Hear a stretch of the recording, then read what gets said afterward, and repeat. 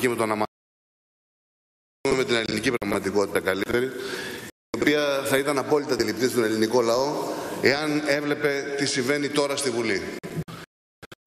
Πραγματικά, αν γυρίσει η κάμερα στη Βουλή, θα δει ότι η αξιωματική αντιπολίτευση εκπροσωπείται από μία βουλευτή προς τιμήν της είναι εδώ.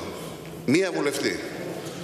Γίνεται η Εξεταστική Επιτροπή, συστήνεται η Εξεταστική Επιτροπή για τα δάνεια των κομμάτων, γίνεται η Εξεταστική Επιτροπή για τη χρηματοδότηση των κομμάτων και η αξιωματική αντιπολίτευση παρίσταται διας μίας βουλευτού.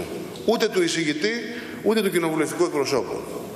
Και αυτό δείχνει ακριβώς ότι η προσπάθεια να υποβαθμίσουν την αλήθεια σε αυτήν εδώ τη Βουλή επί τόσα χρόνια για την χρηματοδότηση είναι μια προσπάθεια η οποία έλαβε τέλος σήμερα και από τη σύσταση Εξεταστικής Επιτροπής και δεν πρόκειται να κάνουμε πίσω ούτε στα μέσα μαζικής ενημέρωσης που είχαν μάθει με πρωτοσέλιδα να απειλούν ανα πάσα στιγμή τα κόμματα είτε της εξουσίας είτε της αντιπολιτεύσεως.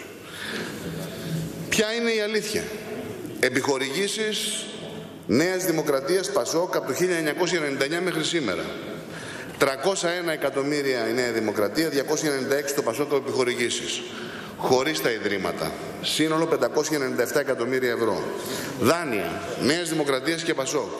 244 εκατομμύρια ευρώ. 841 εκατομμύρια ευρώ δηλαδή από το 1999 μέχρι το 2015 ήταν τα έσοδα. Αν βάλει κανείς τα έσοδα και των Ιδρυμάτων και τα άλλα δηλωμένα έσοδα φτάνουν στο 1,2 δις ευρώ που πήρε η Νέα Δημοκρατία και το Πασόκ. Και το λέω εγώ διότι είμαι βέβαιος ότι κανένας από τους βουλευτές, ούτε της Νέας Δημοκρατίας, ούτε το Πασόκ, ούτε βεβαίως των άλλων κομμάτων, ποτέ δεν ενημερώθηκαν για αυτά τα χρήματα τα οποία πηγαίνουν στα κόμματα. Τα χρήματα αυτά, το 1,2 δις των δύο κομμάτων, Πού πήγαν, υπάρχουν παραστατικά. Αυτό είναι το πρώτο ερώτημα της εξεταστικής. Υπάρχουν παραστατικά για τα 1,2 δις των δύο μεγάλων κομμάτων. Η απάντηση είναι όχι, δεν υπάρχουν. Και η δικαιολογία είναι, από τη μια μεριά, ότι ο κύριος Βενιζέλος ζήτησε τον έλεγχο του κυρίου Παπανδρέου. Η άλλη δικαιολογία είναι ότι κλείσαν οι λογαριασμοί με ορκωτούς λογιστές. Αλλά η έρευνα για τη χρηματοδότηση των κομμάτων πάει και κάπου αλλού. Πάει στο ποια ήταν η έμεση χρηματοδότηση. Η έμεση χρηματοδότηση που δόθηκε από το 2% της Siemens, όπως αποδείχθηκε από τον Χριστοφοράκο, πού πήγε, ποιοι εξέδωσαν κουπόνια κομμάτων και πώς από αυτά καταστράφηκαν μετά την εκδοσή τους, πώς θα εισπράξει η Νέα Δημοκρατία τα χρήματα για να πληρώσει τις δόσεις, 200 εκατομμύρια, εάν πληρωθούν μόνο οι τόκοι το χρόνο, είναι η κρατική επιχορήγηση. Οι τόκοι. Πώς θα ξεπληρωθούν. Και τι είπε ο κύριος Μητσοτάκης, μέχρι το 2018. Από το 2018 και μετά δηλαδή τι θα γίνει. Δεν θα πηγαίνει το σύνολο της επιχορήγησης. Θα χαριστούν 300, 301 εκατομμύρια από τις τράπεζες με την προοπτική ότι κάποια στιγμή μπορεί να ξαναπάρει 40% άρα μπορεί να, μπορεί να αρχίσει να εξοφλεί τους στόχους και μόνο. Και εδώ κυρίες και κύριοι συνάδελφοι, θέλω να πω ότι υπάρχει παράλληλα και είναι αυτή η δύναμη, η μεγάλη της εξεταστικής αυτής, η έρευνα στα μέσα μεξής ενημέρωσης. Μίλησε προηγουμένως και ο Πρωθυπουργός το θέμα του Κελπνό. Όταν το θέμα του Κελπνό το έφερα στην ΕΣΥΑ και κατάθεσα έναν κατάλογο, ο οποίος μου ήρθε μέσα από το Κελπνό, προς διερεύνηση, χωρίς να το διαρρεύσει τον τύπο, έγινε μάχη. Δημοσιογράφοι που μέχρι σήμερα είχα μαζί τους φιλικές σχέσεις και είχαμε καλή συνεργασία, γίνανε μεγαλύτεροι μου εχθροί. Ο Ευαγγελάτος από το Newsit και από το On Alert με βρίζει από το πρωί μέχρι το βράδυ. Το ίδιο και η γυναίκα του από μια εκπομπή που έχει ε, κοινωνική. Γιατί, γιατί κατέθεσα στον κατάλογο με τα ονόματα που μου εδόθησαν από το Κερπνό και το όνομά του. Τι έχει γίνει στο Κερπνό, ποιες είναι οι εταιρείες οι διαφημιστικές οι οποίες παίρνανε για να διαφημίσουν τι; Μήπως υπήρχαν εταιρείες οι οποίες διαφημίζανε το κελπνό για την αντιμετώπιση του καρκίνου. Είναι κολλητικός ο καρκίνος. Είναι επιδημία ο καρκίνος. Ποιοι ήταν αυτοί οι οποίοι ανέλαβαν τις καμπάνιες του κελπνό. Ποιοι ήταν αυτοί και θα τους ανοίξουμε που ανέλαβαν και πλήρωναν τις καμπάνιες της ΔΕΗ; Γιατί διαφημιζόταν τόσα χρόνια η ΕΙΔΑΠ, το μονοπόλιο της ΕΙΔΑΠ, το νερό. Ποιοι πέραν τις διαφημίσεις, να είστε βέβαιοι ότι όλος ο κατάλογος των εκβιαστών, μικρών ή μεγάλων, μαυροί κονινοί, είναι ακριβώς εκεί μέσα. Και όχι μόνο αυτό. Θα δείτε ότι κατά τύχη αυτοί όλοι οι εκβιαστές διχάνουν ειδικών εξυπηρετήσεων. Η γυναίκα του Χίου που βγάζει πρωτοσέλιδο στο μακελιό και από το πρωί μέχρι το βράδυ μας εξυβρίζει γιατί δεν του έδωσα μετά την έκδοσή του το χιλιάρικο το μήνα που ήθελε για να πληρώσουμε την προστασία την προστασία του Ταβατζηλίκη δηλαδή εργάζεται διορισμένη σε δημόσια υπηρεσία πληροφοριών ποιοι άλλοι εργάζονται; Ποια συγγενικά πρόσωπα δημοσιογράφων και εκδοτών; Για να δούμε ποια ήταν τα στοιχεία με τα οποία οι τράπεζες δίνανε εγγύησεις. Και εδώ ξεκαθαρίζω καταρχήν ότι οι ανεξάρτητοι δεν έχουν πάρει ούτε ένα ευρώ δάνειο. Ούτε ένα. Έκανα το λάθος το 2012 επειδή δεν μας δώσαν την ετήσια χρηματοδότηση γιατί ο νόμος τι έλεγε δεν είναι το αποτέλεσμα των εκλογών αλλά θα παίρνεις επιχορήγηση ανάλογα με το πόσο είχες στην πρώτη πρώτου του έτους η οποία λογίζεται δηλαδή για το 12 και εμείς δεν πήραμε ούτε ένα ευρώ. Ζήτησα λοιπόν 25.000 για να μπορέσουμε να βγάλουμε τα έξω του κινήματος παρενέβη η Τράπεζα της Ελλάδος και απαγόρευσε να δοθούν 25.000 ευρώ παρότι έδινα προσωπική εγγύηση και με ακίνητα. Την ίδια εποχή ακούω ότι ήταν 30 εκατομμύρια. Από πού και ως πού; Ποιοι είναι αυτοί που τα δίναν; Και ποιοι είναι αυτοί που τα παίρναν; Εγώ θα συμφωνούσα στην πρόταση που ακούστηκε αναδρομικά να καταργήσουμε αυτή την τροπολογία αλλά στο ποινικό δίκαιο δυστυχώς προς το κατηγορούμενο ισχύει πάντα η ευνοϊκότερη ρύθμιση. Δεν έχω καμιά όμως αντίρρηση να βρούμε την νομική φόρμα να προχωρήσουμε και σε αυτό. Και επειδή πρέπει να πάμε και λίγο πιο μακριά, για πάμε να δούμε τι γίνεται με τα ευρωπαϊκά κόμματα. Ποια κόμματα πήραν χρήματα από τα ευρωπαϊκά κόμματα; Πόσα έδωσε το Ευρωπαϊκό Λαϊκό Κόμμα, πόσο έδωσε το Σοσιαλιστικό Κόμμα, πόσο έδωσε τα υπόλοιπα κόμματα, τόσα αυτά τα χρόνια. Διότι εγώ ξέρω ότι οι παλιές καμπάνιες των ευρωεκλογών ήταν όλες χρηματοδοτούμενες. Πού είναι τα τιμολόγια, πού είναι τα λεφτά; Αυτά τα 15 εκατομμύρια, κύριε Κεκέρου, δεν βλέπω τον κύριο Βενιζέλο δυστυχώς σήμερα μαζί μας, που βρέθηκαν μετρητά, όπως είπε ο κύριος Βενιζέλος, μετρητά στο ταμείο του Πασόκ και διέταξε τον έλεγχο, πού πήγανε μετρητά. Πού πήγε το ΚΑΣ; Το ΚΑΣ προς παρήγεγε αποδείξεις; Αυτά όλα πρέπει να τα εξετάσουμε βεβαίως. Και επειδή λοιπόν την προηγούμενη φορά, γιατί έχω κάτι χρωστούμενα, έγινε μεγάλη κουβέντα εδώ για το θέμα του εισαγγελέα της Eurojust, απάντησε η κυρία Κοτζαμάνη ότι η δικογραφία της Siemens έχει μπει, η δικογραφία της Siemens και όλα τα στοιχεία έχουν μπει από το 2008, δηλαδή μετά την εξεταστική της Βουλής και το θέμα των υποβληθείων από το 10 στη Eurojust. Ερωτώ λοιπόν συγκεκριμένα, Ποια στοιχεία είναι αυτά που δεν μπήκαν και δεν ενημερώθηκε η δικογραφία της Siemens; Γιατί δεν έγινε ενημέρωση; Η απόδειξη είναι πολύ απλή. Και θέλω σε αυτό το σημείο να συγχαρώ δημόσια τη δημοσιογράφο Γιάννα Παπαδάκου για την έρευνα την οποία έκανε και δεν της επετράπει το δημοσιεύσει. Και εδώ πια είναι το δίλημα του κυρίου Μητσοτάκη. Κύριε Δέντε, θα χαρώ να μου απαντήσει το κοινοβουλευτικό εκπρόσωπος. Δικογραφία Siemens Φάκελος Καραβέλα. Αριθμός εγγράφου της δικογραφίας 120-222. Από το ξενοδοχείο Μπορ Ολάκ σε προσωπικό σημείωμα του κυρίου Καραβέλα που κατασχέθηκε και αποτελεί μέλος της δικογραφίας αλλά δεν έχει κατευθεί στην Eurojust και αποτελεί στοιχείο δύο συγκεκριμένων κυβωτίων καλείται ο κύριος Καραβέλας να καταθέσει στην Credit Suisse Private Banking στη Ζηρίχη με αριθμό λογαριασμό 0879 99 73 86 21 Παύλα 2 κωδικός Άνοιξη και 0879 99 73 86 22 10 κωδικός Άνοιξη.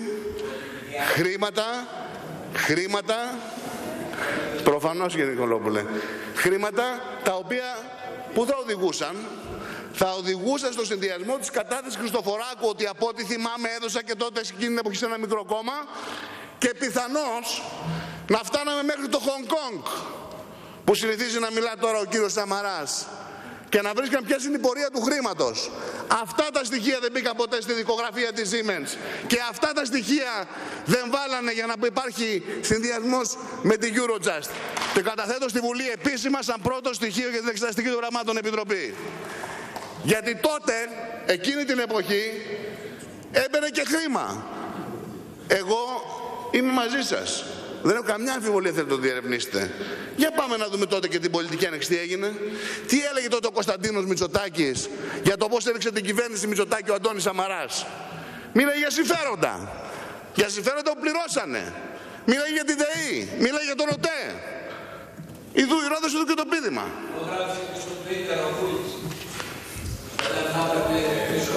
Πάμε να τα ανοίξουμε λοιπόν όλα και να δούμε και την πορεία των χρημάτων. Ποιοι άλλοι λογαριασμοί δεν κατατέθηκαν ποτέ; Γιατί ο Καραβέλας κυκλοφορούσε και κυκλοφορεί ακόμα; Ελεύθερος.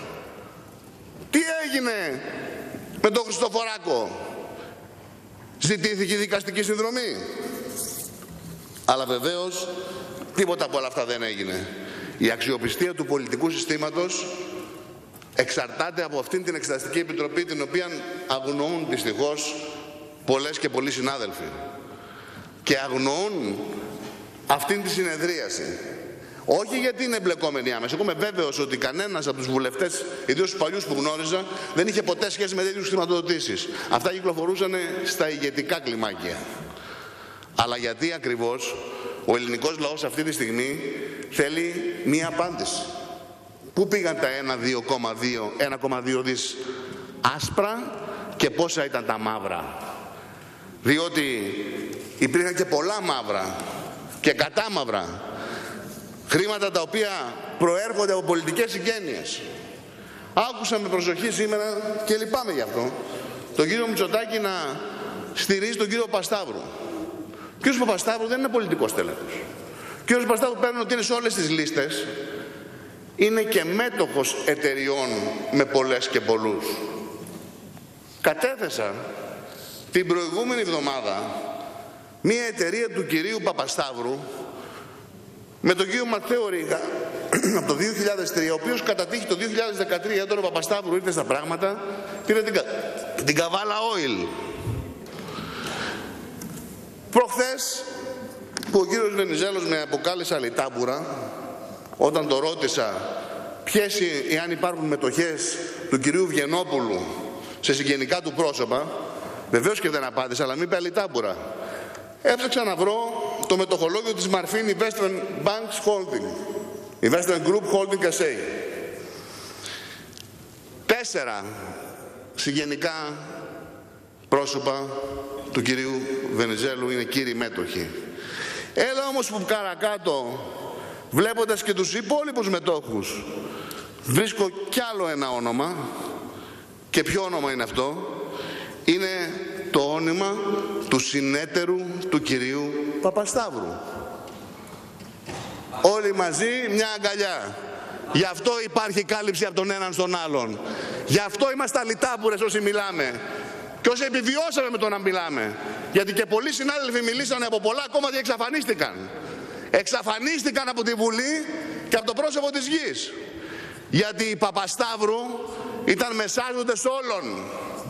Στα μεγάλα σαλόνια γίνονταν ταλαβέρι.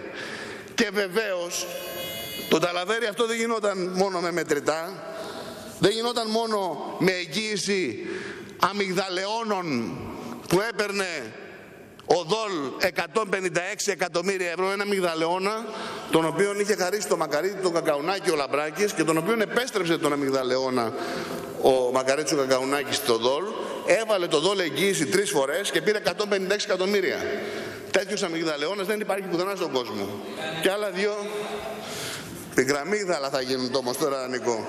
Και το θέμα, είναι, το θέμα είναι ότι πικραμίγδαλα πρέπει να τα κάνουμε όλοι εμείς.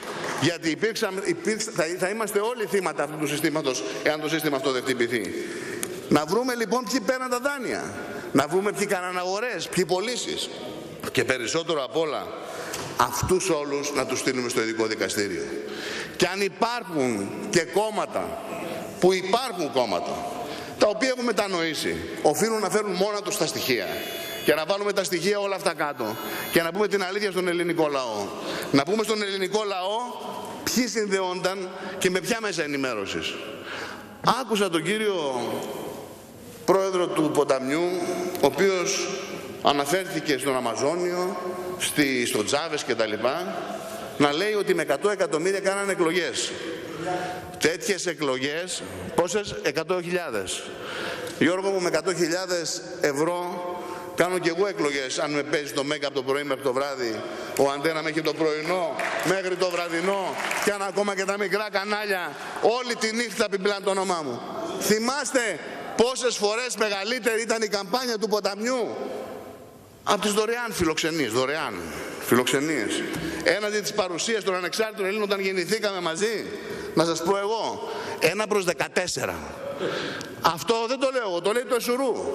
Το Εσουρού απαντάει για την προβολή του κάθε κόμματος. Μακάρι να με έπαιζα και εμένα το βράδυ. Πόσα πρωτοσέλιδα πήρατε; Πόσα πρωτοσέλιδα πήρατε τις εφημερίδες κυριακάτικες. Είστε; Είστε καλοί. Εδώ λοιπόν, κυρίες και κύριοι συνάδελφοι, ακριβώς, ερχόμαστε στο ιστορικό σταυροδρόμι του καλού και του κακού. Αυτό που σας υποσχόμαστε λοιπόν, η κυβέρνηση ΣΥΡΙΖΑ Ανεξάρτητων Ελλήνων, είναι ότι σε αυτό το μονοπάτι του κακού και του καλού θα ξεχωρίσει η ήρα από το στάρι και ο ελληνικός λαός θα μάθει ποιοι ήταν οι ταβατζίδες που, που έλεγξαν τη μεταπολίτευση. Ποιοι ήταν αυτοί και ποιες οι προνομιακές τους σχέσεις με τις τράπεζες και με τους εκδότες. Και να ξέρουν ότι εμείς ούτε απειλούμαστε, ούτε φοβόμαστε κανέναν. Θα προχωρήσουμε μέχρι τέλος γιατί αυτή είναι η εντολή του ελληνικού λαού. Εκλογές το 2019.